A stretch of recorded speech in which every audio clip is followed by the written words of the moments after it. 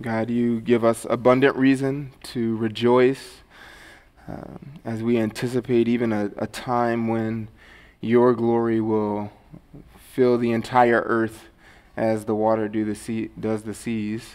Um, God, uh, we, we anticipate that time. We look forward uh, to seeing Christ reign on his throne and the fulfillment of all your promises as you've promised them.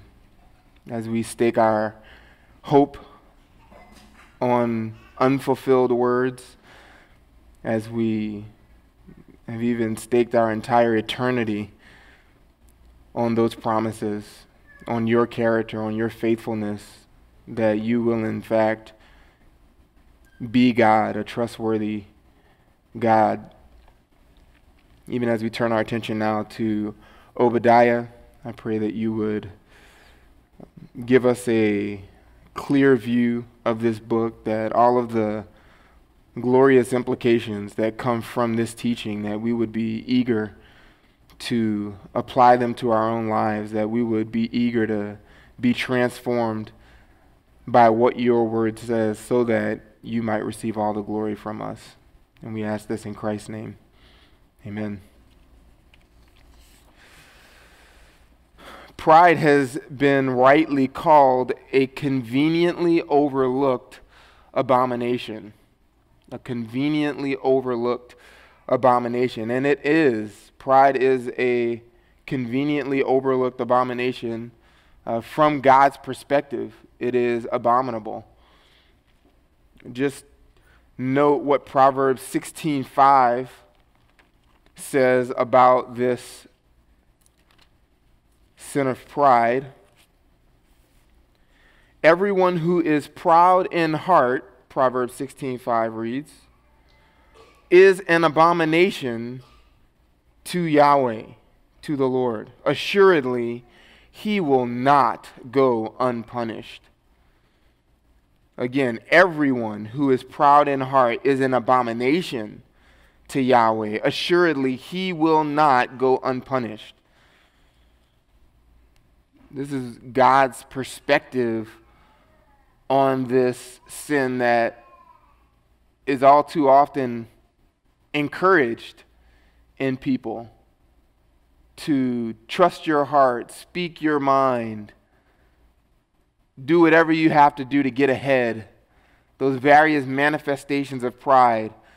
God says to him, the one who acts proudly, who embraces pride in his heart, is an abomination, hated by him, detestable to him.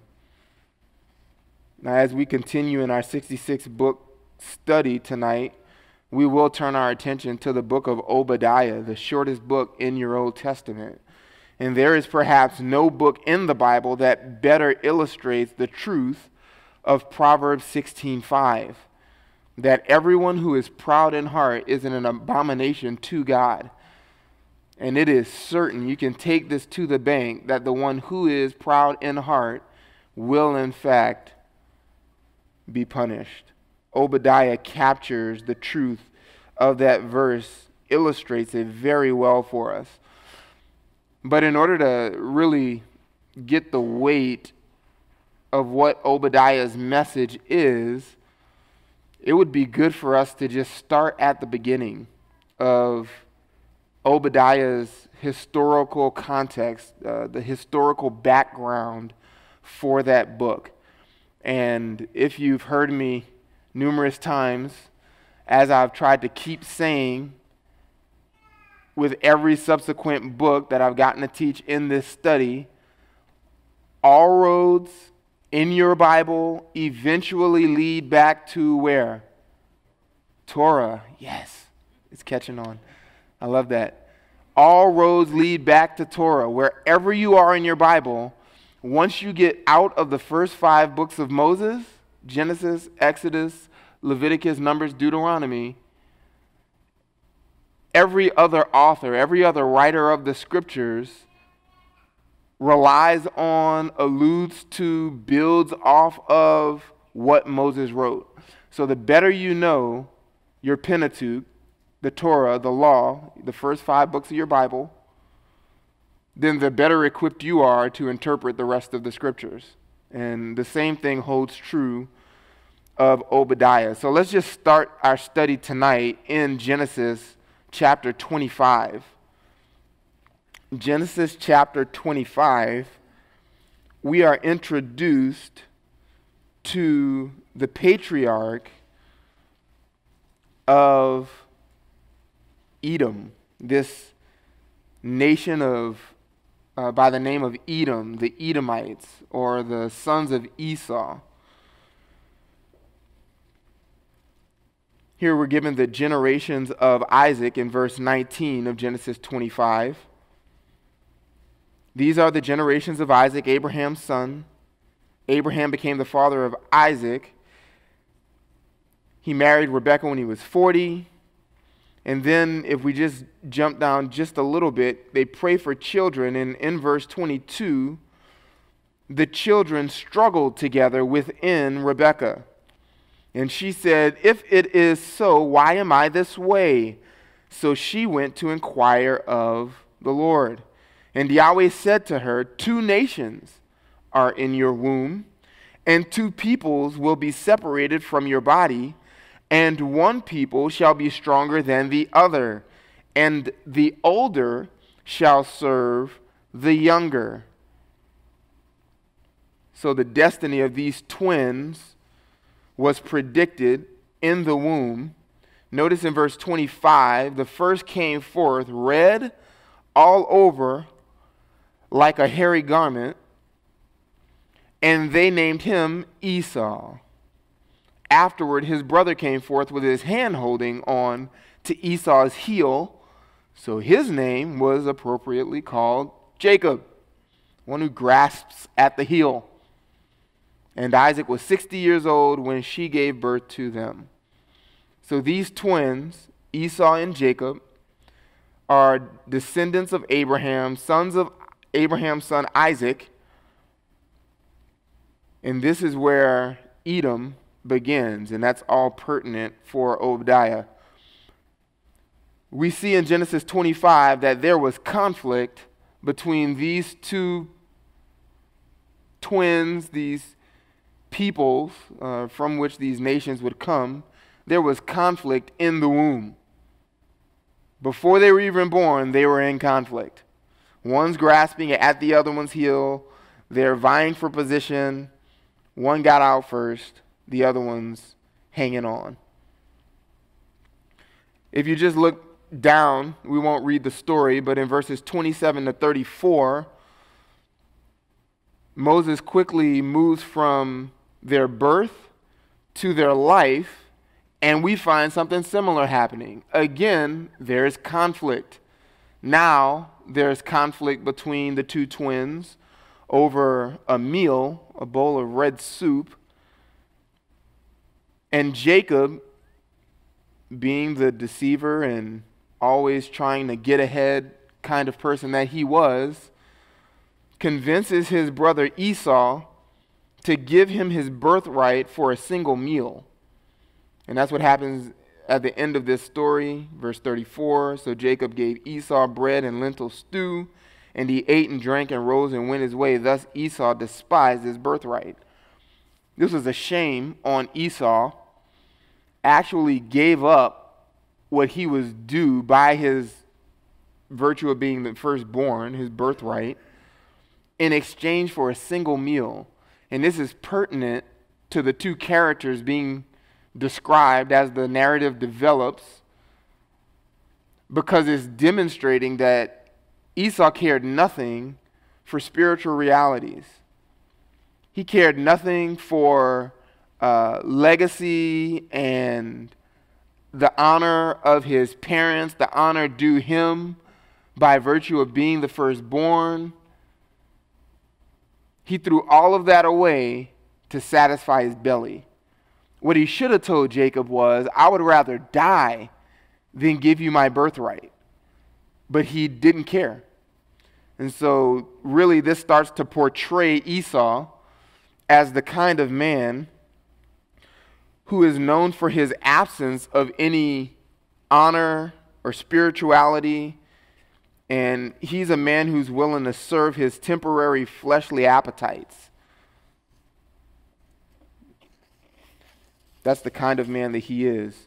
If you just fast forward again, not only is there conflict in the womb, conflict in life, but in chapter 27, we see that these two are even in conflict in death.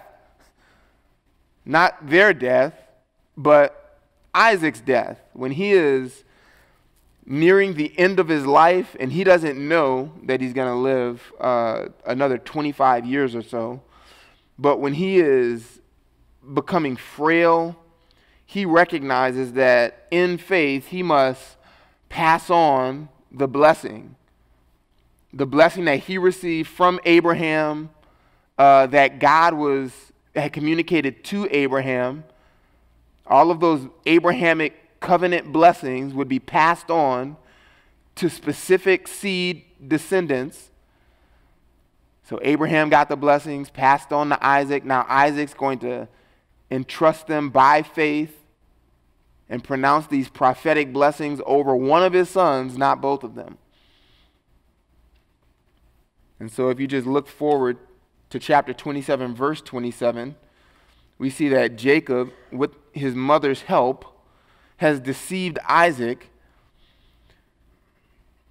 convincingly made himself appear to his blind father as if he is his hairy brother. He comes near, he kisses his father. He smelled the smell of his garments, and he's convinced that it's Esau when it's not, it's Jacob. But he does bless him in faith, and he says, verse 27 See, the smell of my son is like the smell of a field which Yahweh has blessed. Now may God give you the dew of heaven and of the fatness of the earth, and an abundance of grain and new wine. May peoples serve you, and nations bow down to you. Be master of your brothers, your kinsmen, and may your mother's sons bow down to you. Cursed be those who curse you, as Abraham was told, and blessed be those who bless you. So the, the blessing has been faithfully passed on to the one to whom it did not belong. When he finishes blessing Jacob, he's barely finished when Esau rushes in, done hunting, has prepared the meal, and he wants his blessing, not realizing that it's been already passed on. He hates Jacob, if you're familiar with the story, because of this deception. And just notice in verse 37 what Isaac says. He told Esau, Behold, I have made him, that's your brother, your master. And all his fellow brothers I have given to him as, as servants. And with grain and new wine I have sustained him Notice these are all part of the covenant blessings when they will be fulfilled. Now, as for you, then, what can I do, my son? And Esau said to his father, Do you have only one blessing, my father? Bless me, even me also, my father. So Esau lifted up his voice and wept.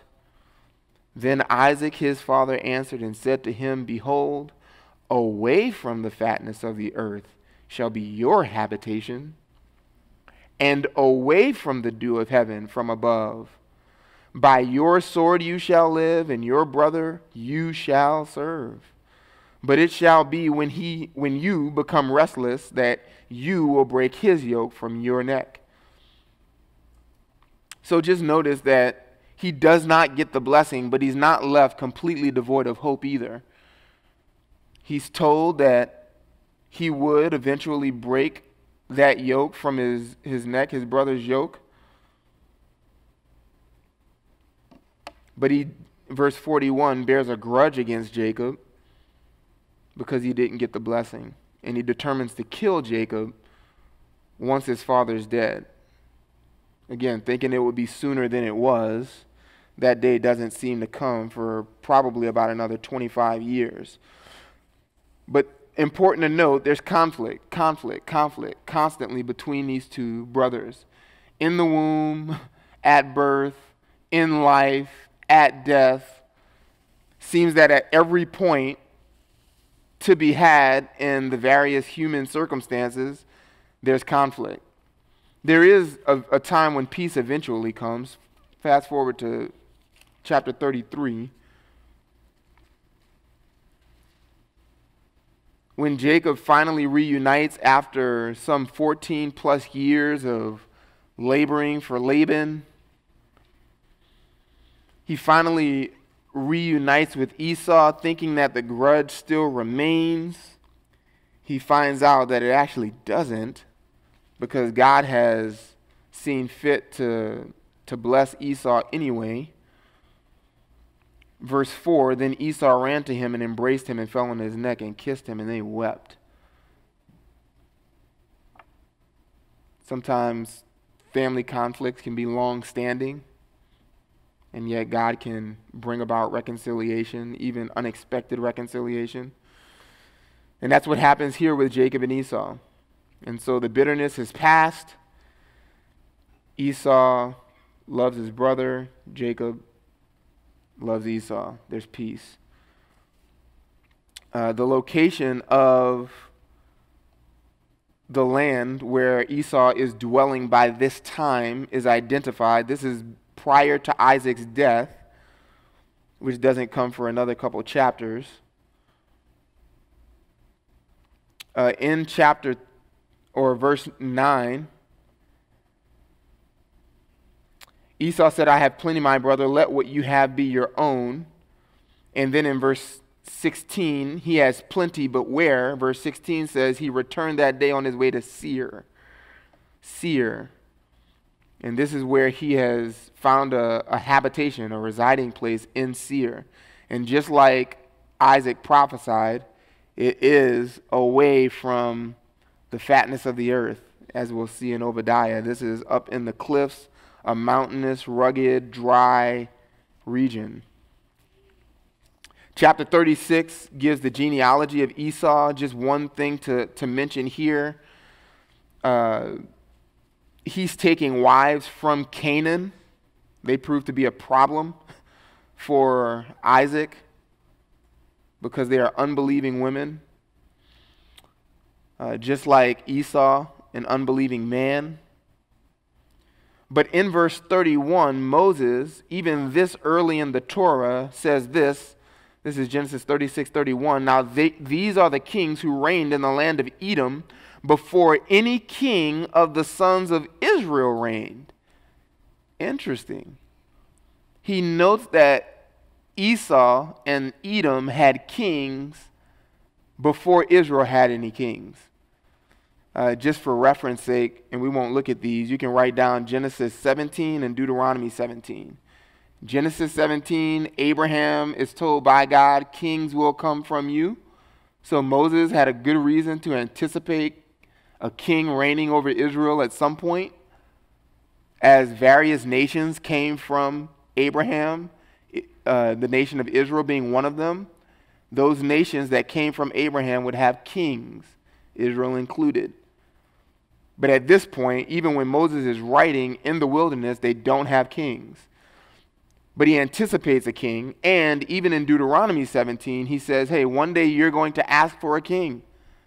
And when you do, here's what the law is regarding that king. Here's the standards, the statutes for anyone you appoint king in your sin.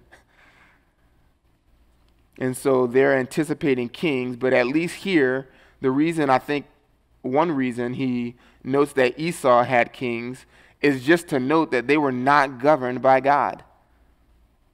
Israel was governed by God. They didn't need a king.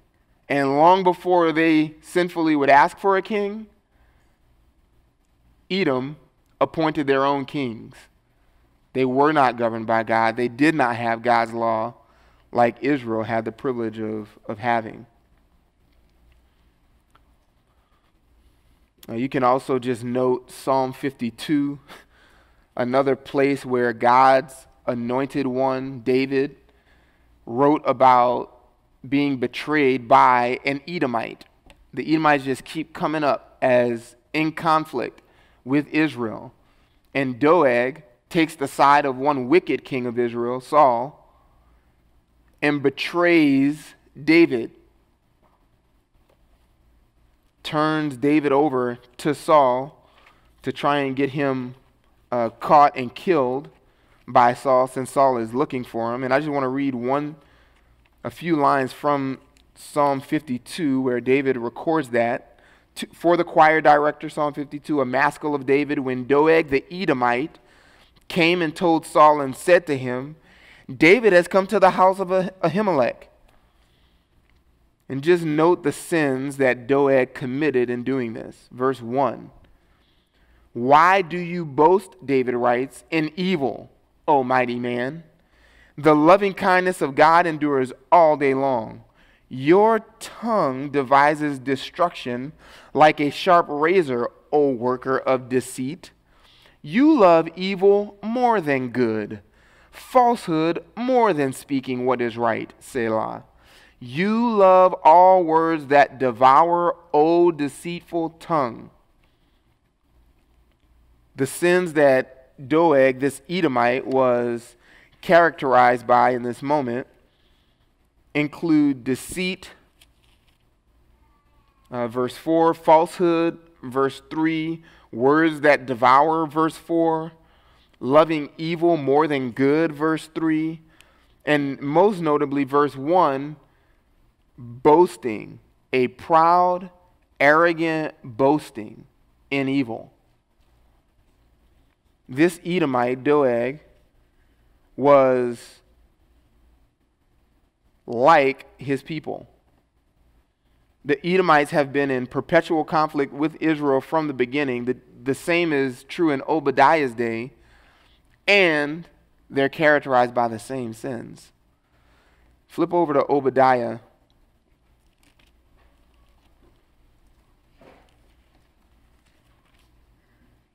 Hosea, Joel, Amos, Obadiah, Jonah, Micah. One chapter, shortest book in your Old Testament, but a phenomenal prophet that is very instructive for the church. It was instructive for Israel when it was written. It's instructive for the church today, as we'll see. These people are characterized and have been characterized by the same sins. Follow along as I read Obadiah. The vision of Obadiah Thus says Lord Yahweh concerning Edom We have heard a report from Yahweh, and an envoy has been sent among the nations, saying, Arise, and let us arise against her for battle. Behold, I will make you small among the nations. You are greatly despised. The arrogance of your heart has deceived you you who dwell in the clefts of the cliff in the height of your habitation, who says in his heart, Who will bring me down to earth? Though you build loftily like the eagle, though you set your nest among the stars, from there I will bring you down, declares Yahweh. If thieves came to you, if robbers by night, oh, how you have been ruined! Would they not thieve only until they had enough? If grape gatherers came to you, would they not allow some gleanings to remain? Oh, how Esau will be searched out and his hidden treasures ransacked. All the men who have a covenant with you will send you forth to the border, and the men at peace with you will deceive you and overpower you. They will eat your bread, will they who eat your bread will set an ambush for you. There is no discernment in him. Will I not on that day, declares Yahweh, cause the, the wise men to perish from Edom and discernment from the mountain of Esau? Then your mighty men will be dismayed, O Teman, so that each one may be cut off from the mountain of Esau by slaughter. Because of violence to your brother Jacob, you will be covered with shame and you will be cut off forever. On the day when you stood aloof, on the day that strangers took his wealth captive, and foreigners entered his gate and cast lots for Jerusalem, you too were as one of them. Now, do not look on your brother's day with triumph, the day of his misfortune. And do not be glad over the sons of Judah in the day when they perish. And do not let your mouth speak great things in the day of their distress. Do not enter the gate of my people in the day of their disaster. Indeed, you do not look on their calamity with triumph in the day of their disaster. And do not send out for their wealth in the day of their disaster.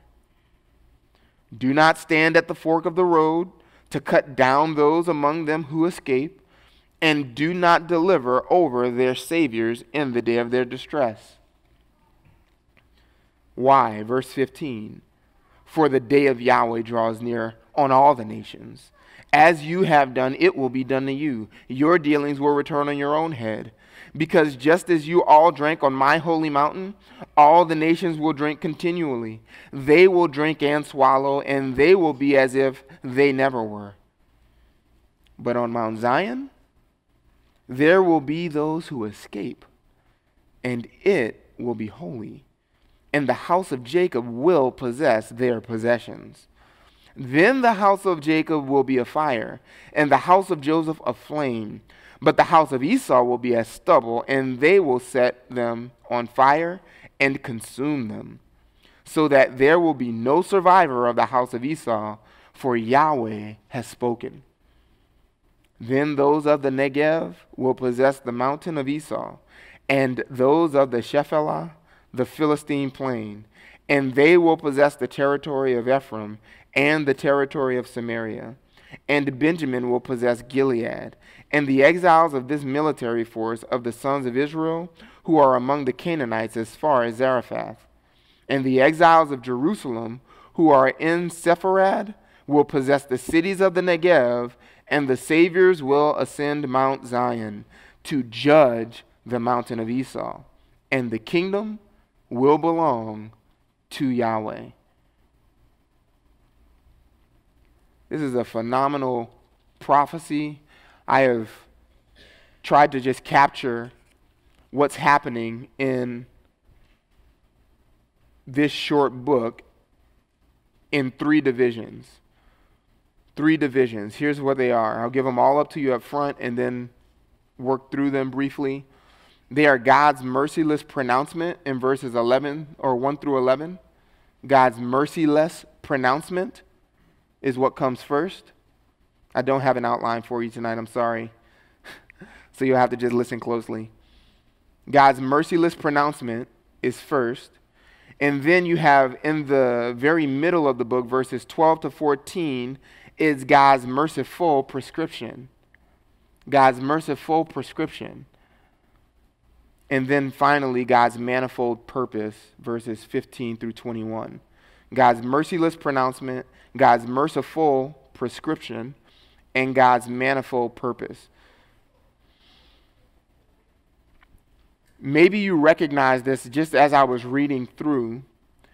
In the first 11 verses, all you have are tremendous destruction being predicted. That's all it is. It's merciless. No mercy for Esau, only destruction they are going to be humbled. There is war. There is diminishment. There is ruin coming. That involves deception, bewilderment, and this is all God's justice at work against Esau. No mercy for Esau, only destruction and humbling for him because of his pride. But if you notice, from that pronouncement, there's actual instruction given in verses 12 to 14. Commands. It shifts from just predictions about the future, what's coming to Esau, to instruction. Don't do this. Don't do this. Don't treat Israel this way because of something else that's coming.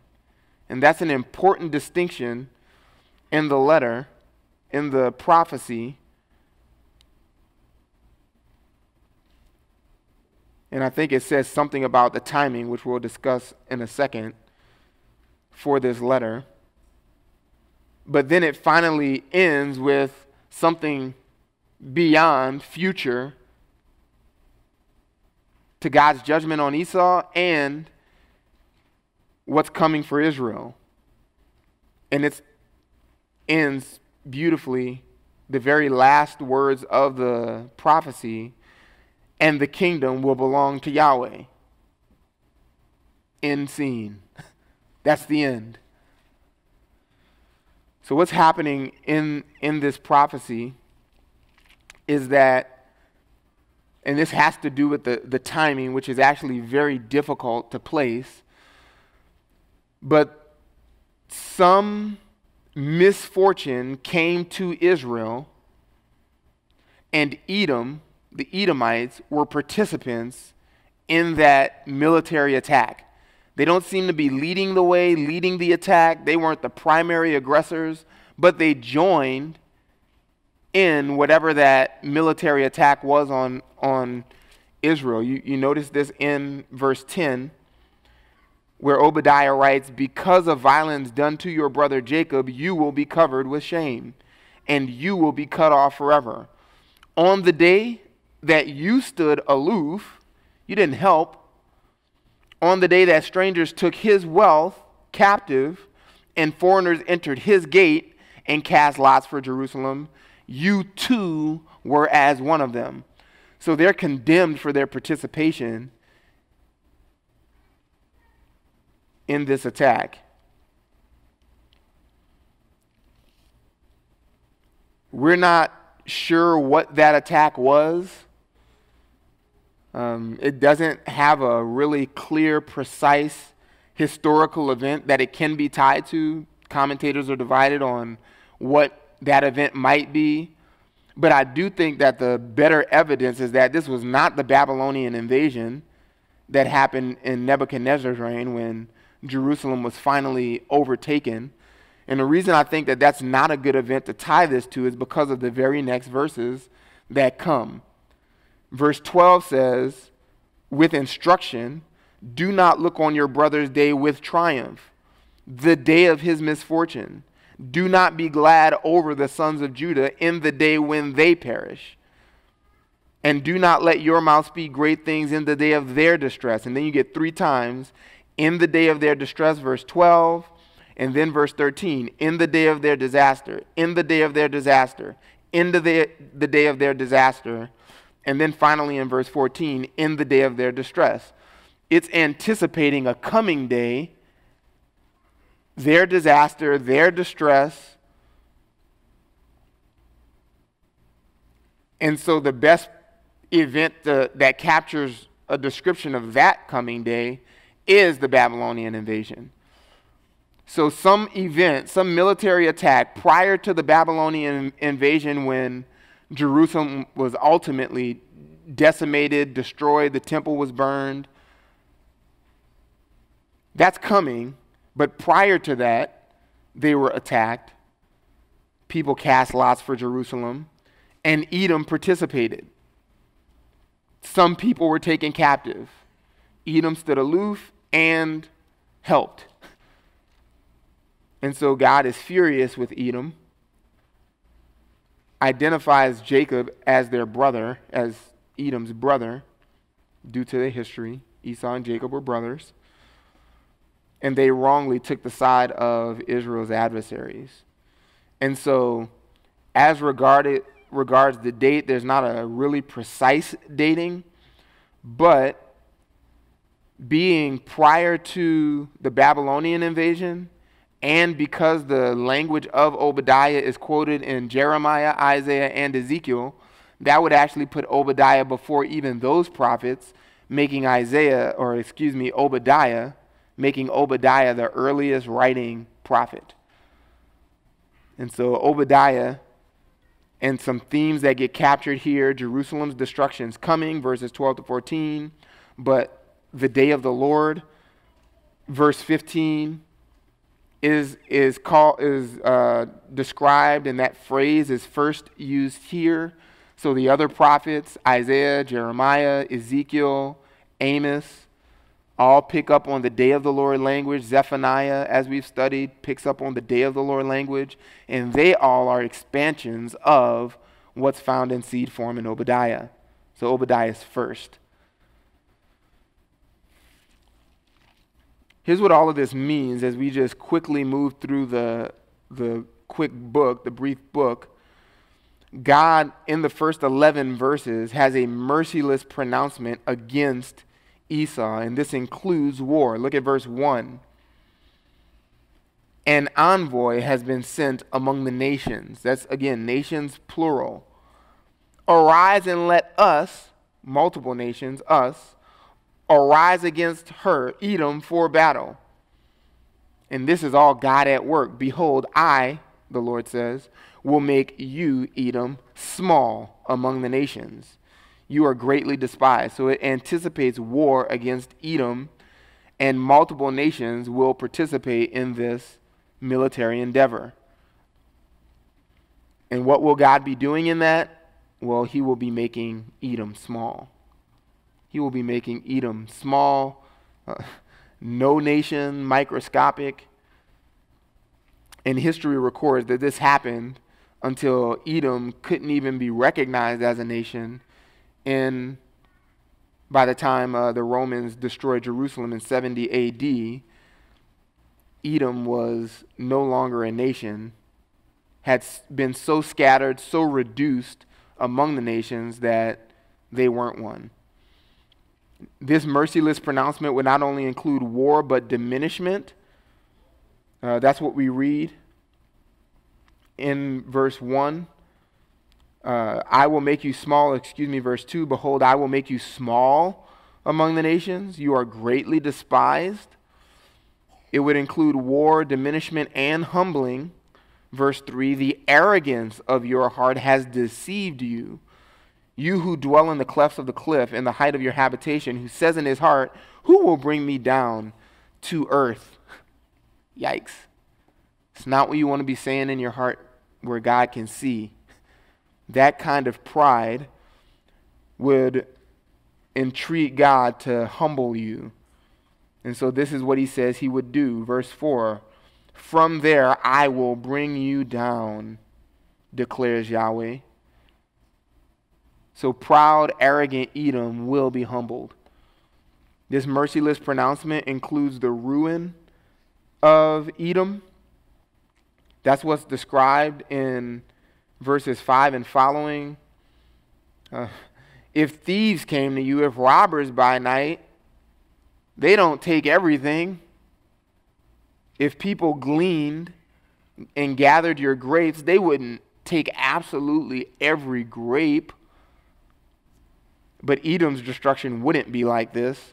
The destruction that God would bring on Edom, he says, would include verse 6 being searched out, hidden, even the hidden treasures would be ransacked.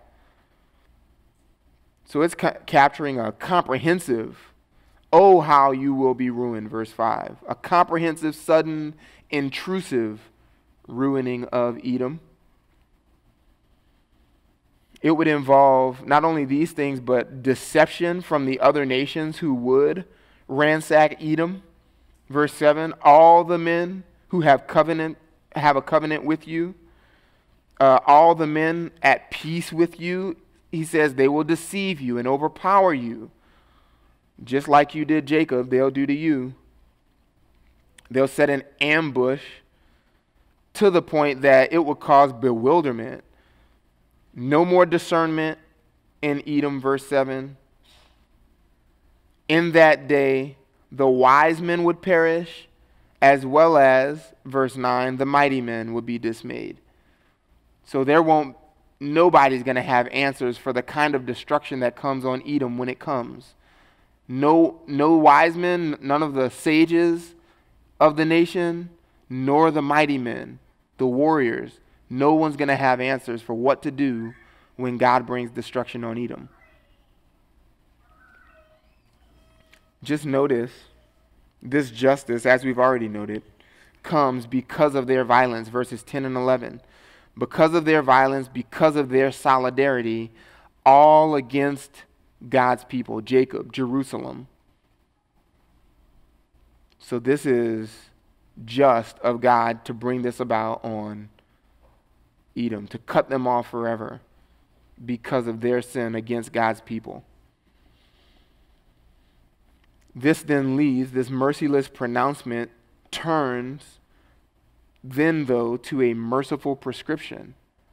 Hey, Edom, you've done this, destruction's coming, but here's some instruction for you. If you want to be wise, then do this. Don't look on your brother's day with triumph when it comes. The day of their misfortune, don't look on, on it with triumph. Don't be glad over them on the day when they will perish. Don't let your mouth speak great things or literally enlarge your mouth, right, to boast over them in the day of their distress. So when this time comes, the next time, the ultimate destruction that's coming, it's coming, but don't act like this on that day when it comes. That's what you did last time. Don't let it happen again. So that's just what what mercy of God to tell this rebellious people that he has now set his heart to destroy, to now provide instruction for them and say, don't do this. Don't act this way. That is, when God warns, that's instructive and that's mercy. So, this is a merciful prescription. This, this anticipates not only Israel's misfortune, but it directs Edom's way. This is directive and instructive for Edom how to act in the future. And who knows, maybe, just maybe, God would relent from the disaster that he's determined to bring about. If we humble ourselves before the Lord, just maybe the God who is rich in mercy will be merciful to Edom the next time Israel's destruction comes. What's Israel thinking at this point? Yeah, go get them, God. They mistreated us. Destruction's coming. Oh, wait, destruction's coming for us too? How come you're telling them what to do when our destruction comes? Right? If you're believing Obadiah the prophet, then you're, you're realizing we're not getting a pass on our rebellion, Israel. Judah, just because we're God's people, just because we live in Jerusalem in God's place, doesn't give us a pass on our idolatry. Destruction's coming to us too.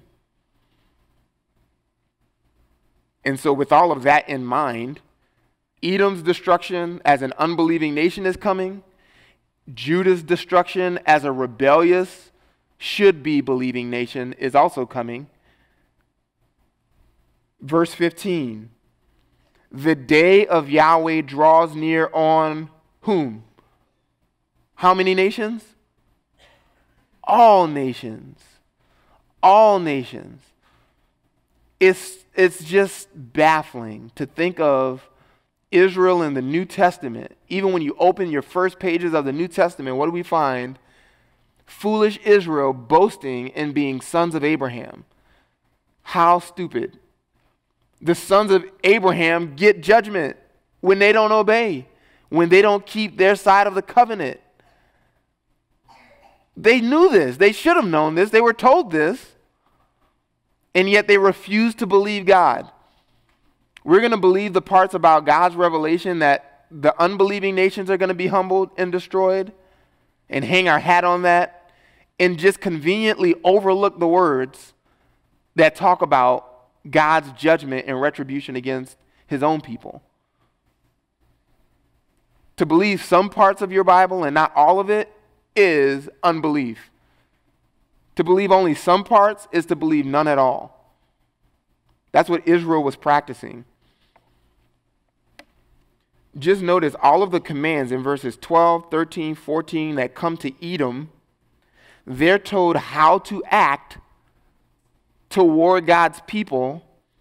And then the first word of verse 15, they're told why to do these things. Because, for The day of the Lord comes on all nations. We've seen this before. If you were here for our study of Zephaniah, the same thing happens in Zephaniah. You get three verses in the beginning of chapter 2 that culminate in a seek the Lord, seek righteousness, seek humility. Perhaps you will be hidden on that day. For the day of the Lord comes. And then you get a because here's the destruction that's coming on this nation. Here's the destruction coming on this nation. Here's the destruction coming on this nation. And that's the same kind of situation we have in verse 15. Obey the Lord, humble yourselves, and cease to act proudly, Edom. Verse 15, because the day of the Lord's coming, it, it even draws near on all nations. That no nation will escape the day of the Lord when it comes. Not even you, Edom. So humble yourselves. Even that has an air of hope to it. And that's really the, the third section of this prophecy God's manifold purpose. God's manifold purpose. And that's just weaved throughout the, the rest of these, these verses. God's manifold purpose. Here's what I mean by manifold it's not just one thing that God's doing when the day of the Lord comes. It's not just singular. He doesn't just have one thing in mind that he's going after when the day of the Lord comes. That's what this shows us. His purpose is manifold, it's, it varies, it includes more than just a singular purpose, as we'll see. And here are the two purposes, if you just want to uh, capture them in, in two purposes that God has. One is worldwide retribution. Worldwide retribution. That's one aspect of God's purpose. The day of the Lord draws near on all nations. As you have done, it will be done to you. Your dealings will return on your own head. Because just as you all drank on my holy mountain, all the nations, again, all the nations, all the nations will drink continually. They will drink and swallow. They're going to be made to take it all the way down and they will be as if they never were. Yikes.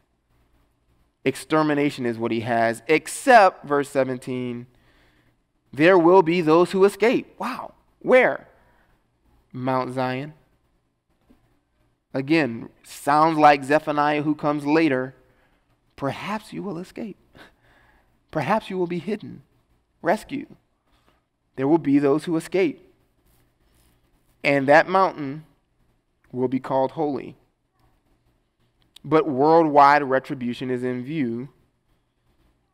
And in addition, the, the another purpose, which makes it manifold, not singular, that God has in view is not only worldwide, worldwide retribution, but also covenant fulfillment. Covenant fulfillment. That's how the letter ends, the, the prophecy ends. But on Mount Zion there will be those who escape, and it will be called holy, and the house of Jacob will possess their possessions. He will possess the gate of his enemies, is what Abraham was told when he didn't sacrifice Isaac. That seed that's coming will possess the gate of his enemies. This is the fulfillment of that promise made long ago. When the house of Jacob the descendants of Jacob, Jacob's seed, will possess their possessions, the nation's possessions. Then the house of Jacob will be a fire, and the house of Joseph a flame. You know, what was almost reduced to nothing, the ones who escape would now fan out into an all consuming fire, while the house of Esau is left to be stubble. Verse 18 and they will set them on fire and consume them, so that there will be no survivor of the house of Esau. For Yahweh has spoken.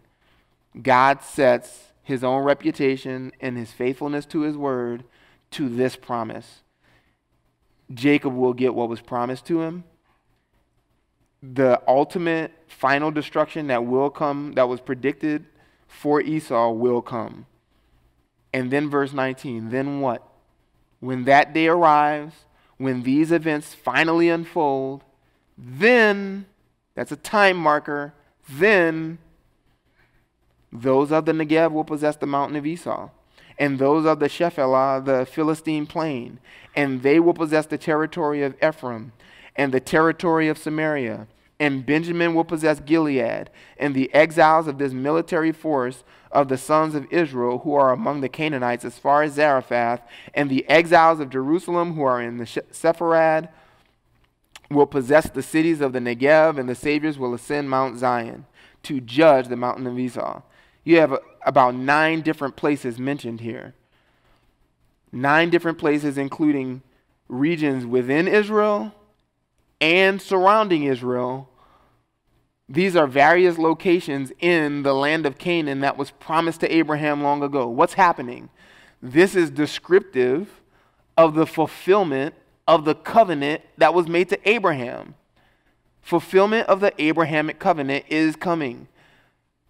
And Obadiah is just capturing all of that in a hurry, bundling all of that up in brief to say the promises have not failed, they're still outstanding, God will not fail, He will fulfill His promises. The covenant is still on. And today, fast forward, the covenant's still on. It still is outstanding. Israel has not gotten its possession. This has not come true, so we're still waiting. So wait. Wait on the Lord.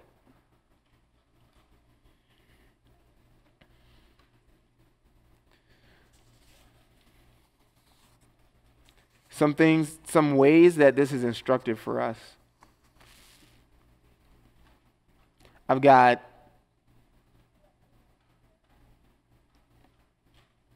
about 12 points of application.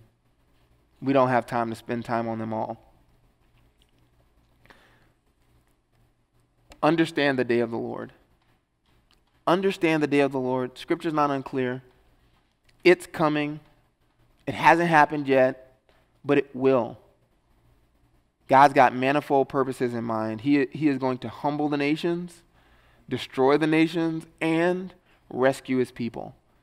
Be those who will be rescued. Be among those who will be rescued. How? Trust God. Take him at his word. Believe in his king who is coming. The same king who died for sins, he is coming to reign and he will destroy the earth, rid the earth of his enemies when he comes to reign. You can be under his boot or in his, in his good graces because you have entrusted your soul to him in faith. Be that. Be a part of the latter group. Entrust yourself to Christ. Be rescued from the day of the Lord. Not only understand the day of the Lord and what God intends in it, but know God. There's so much theology proper to glean from Obadiah. Let me just give you uh, some things to know about God from this prophecy. God is a God of retribution. You can't downplay that. You can't skip that unless you just want to, um, you know, take a an X-Acto knife to Obadiah in your Bible and remove it. Otherwise, it stands. God is a God of vengeance. God is also a God of knowledge. He's the kind of God who can tell a nation of rebels what they say in their heart, where no one else can see. And so he's also a God who can tell us, each one of us, the thoughts that we have in our heart.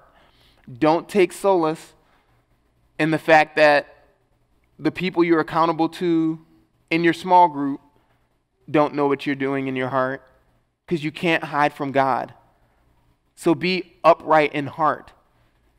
Change at the heart level. Sanctify yourself at the heart level with God's truth. Believe it there. That's where it counts. God is a God of knowledge, He is omniscient and sees all. Note from this prophecy that God will defend His people and He will defend His place. He will defend His people, He will defend His place.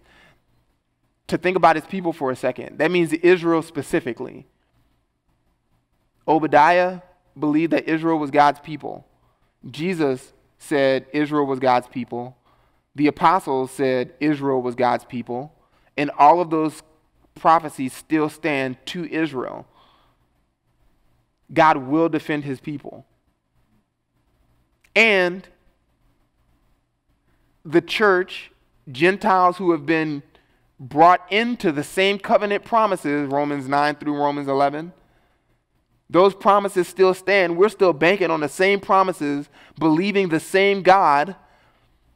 And so we get the benefits of the same blessings when they finally come. The same kingdom that's been, that's been promised to Israel, Gentiles will be there. The Old Testament Gentiles were promised to enter into the kingdom. And so, New Testament Gentiles, the same promises still stand. God will defend his people. That includes all those Jews and Gentiles who trust him. And he'll defend his place, Jerusalem. Jerusalem, that only city on the map, prime, most valuable real estate on the planet. God's going to show up. He's going to defend his own glory in Jerusalem. And as Obadiah says, it will be called, finally, rightly, holy. God sovereignly commands the nations. He gave, you can write down Deuteronomy 2, verses 1 through 8, where God says that He gave Esau possession of Mount Seir. So even unbelieving nations, God gives them the places that they inhabit. But commensurate with that fact, those blessings are only temporary for the wicked. They are only temporary. Think about Esau being given his land first before Jacob. He had his land, he had his inheritance first, but shortest. Israel will have his land last and longest. So, what is, what's the implication for, for believers? Don't envy the wicked. They have their best life now. And that's it. The eternal blessing is better, even though it's coming later. Be content to wait on the Lord. Don't envy sinners. Study the fate of the wicked is an implication. Notice to whom the prophecy is addressed in verse 1 Thus says the Lord concerning Edom. So it's about Edom, but who are the words given to? Israel. The book's a part of Israel's canon. You're not going to find Obadiah in any sacred writing of any Edomites, right? It was never a part of their religious tradition. God, this is, if, if I had to give another title to the, the book of Obadiah, this is Obadiah's open letter to Edom. Here, Israel, here's what God says about your enemies. That's instructive for us because God's people receive the benefit of the instruction about the fate of the wicked. So we should study the fate of the wicked we can glean from it. We can be spurred on to greater fidelity to God when we meditate rightly on the disaster and the day of the Lord that's coming for the wicked. It's instructive for us. An obvious implication um, that I've kind of hit on already take God at His word literally. Just read your Bible and believe what it says literally. You don't need to spiritualize or allegorize or do anything funny with the words. They just stand and they're fine on their own. Humbly receive them.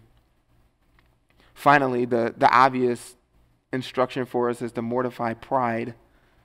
To mortify pride. To think about what God says in this letter to a proud people. Don't be proud. Don't be proud. And don't think that you can be humble on accident. If you're not trying to be humble, then you're not being humble. It just not is not natural to us. What does he what does he tell Edom verse 3?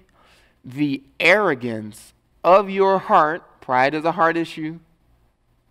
The arrogance of your heart has deceived you. Pride is deceptive. As soon as you have a proud thought, you have deceived yourself. It'll cause you to deceive yourself, to deceive others, to convince yourself, I am greater than I actually am. It believes the first deception I am God. I can be like God. Great. No, you can't. No, we can't. We can't be like God. Great. Only God is great. And we are humans. We are man. Not great, insignificant, nothing special, but people beloved by God who can be used for great purposes to God's great ends. And so we should attempt to be used by God for his own great ends while humbly submitting to his great purposes. Let me pray. God, thank you for this wonderful prophecy that you would move holy men to write your words, uh, not of their own interpretation, as we were reminded by Zach this morning, but these words were given by the, the movement of your Holy Spirit to carry along men to tell us exactly what we needed to know for life and godliness. And so we thank you for speaking to us. Help us to exalt not ourselves, but your words, your truth, just as you have exalted your own word according to your own reputation, your own name. God, if you would use us to this end, we would be so grateful. And we ask this in Christ's name. Amen.